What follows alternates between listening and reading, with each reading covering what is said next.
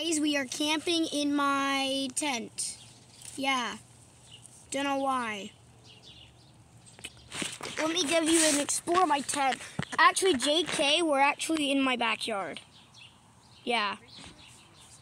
Anyways, if you look, this is my tent.